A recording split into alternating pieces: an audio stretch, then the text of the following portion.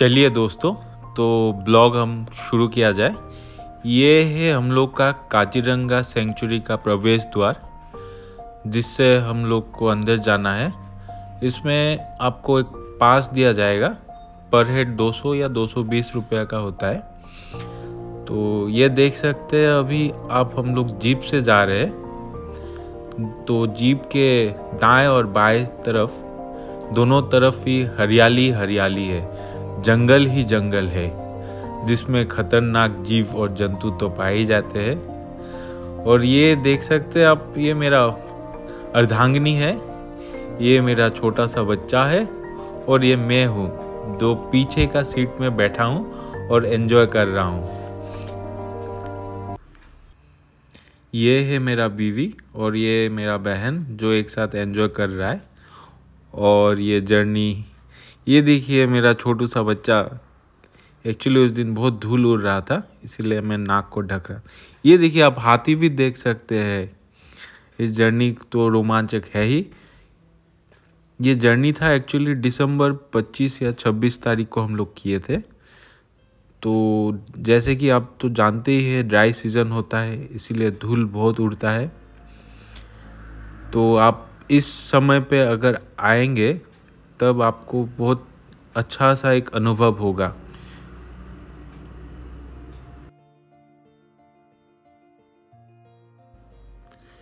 मैं ये जर्नी चलते चलते मैं आप लोग से कुछ ज़रूरी बातें शेयर करना चाहता हूँ काजीरंगा का।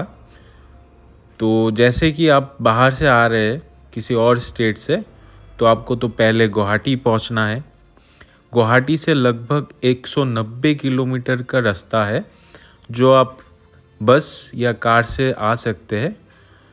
तो आप आने का पहले होटल बुकिंग कर लेते हैं तो बहुत अच्छी बात है। और आके भी करेंगे, तब भी सही है। और ऑनलाइन में हमेशा ज़्यादा ही दिखाता है, लेकिन आप आने से यहाँ पे बहुत कम में हो जाएगा आपका। इस सफ़र में हम लोग का साथ दे रहे थे मेरा सास और ससुर। साथ में अंकल आंटी भी था, जो इस सफ़र को रोमांचक तरह से एंजॉय करके जा रहा था। जंगल में चलते चलते आपको बहुत हिरन दिख जाएगा। ये आसानी से दिख जाता है, लेकिन हम लोग तो देखने आए हैं यहाँ पे one row one horn rhino तो अगर भाग्य साथ देता है तो हम लोग देख पाएँगे। तो चलिए आगे बढ़ते हैं इस रोमांचक सफ़र में। ये हम लोग का ड्राइवर साहब जो हम लोग को लेके जा रहे हैं। और मैं हूँ कि कैमरा पकड़ के शूटिंग कर रहा हूँ।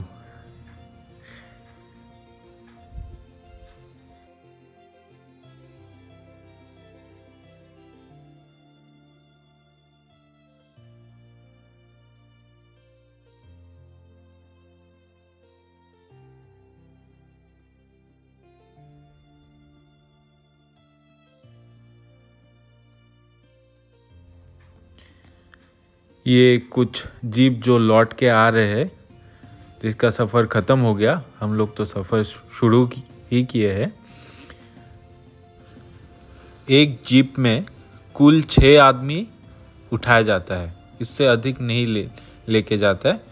तो हम लोग का कुल हिसाब एक पर हेड हिसाब करने से आपको 550 करके लेता है। तो एक जीप का तैंतीस सौ रुपया होता है। जो आप ऑनलाइन भी बुकिंग कर सकते हैं या तो आके इजीली अवेलेबल होता है। ये देखिए एक ब्लॉग बन गया डेढ़ साल का बच्चा का साथ। मुझे इस जर्नी एंजॉय कर रहा हूँ। ये बीच में सो ही गया था। और मैं अभी एंजॉय कर रहा हूँ। जीप सफारी दो घंटे का सफ़र होता है जिसमें आपको पूरा जंगल ही दिखाया जाएगा। उससे ज़्यादा आपको समय नहीं दिया जाएगा। इस जगह हम रुके थे कुछ दूर से नज़र आया, शायद एक राइनो दिख जाए। लेकिन अभी भी हम लोग का भाग्य इतना सही नहीं चल रहा है जो हम लोग दिख पाए। तो चलिए आगे देखते हैं। अगर नसीब सही रहा तो दिख जाएगा एक राइनो ये आप देख सकते हैं छोटा छोटा टर्टल्स तैर रहे होंगे। शायद मेरा कैमरा इन लोग को जूम नहीं कर पा रहा है। और ये जंगल का बीच से होते हो। ये थोड़ा जगह डैम्प है, क्योंकि जंगल है। जंगल के कारण जो पानी से, ओस का पानी है गिर के, थोड़ा धूल को कमा रहा है। तो ये जगह सही है। ये देखिए, एक हाथी।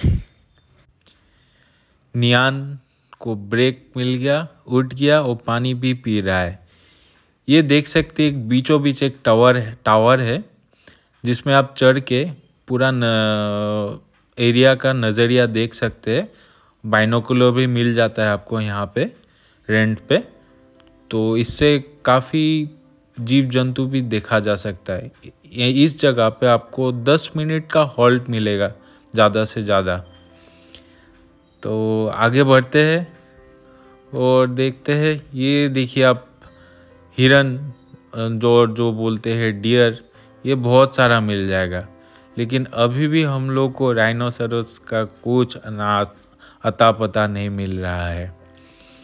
एक बात बता रहा हूँ, जीप से आने से आप, आपका लक होने से दिख तो जाएगा आराम से। ये देखिए देखिए देखिए देखिए, अभी मिल गया हम लोग को राइनो ये काफ़ी पास में ही था तो और उस तरफ़ जाने से शायद हम लोग को मिल जाता।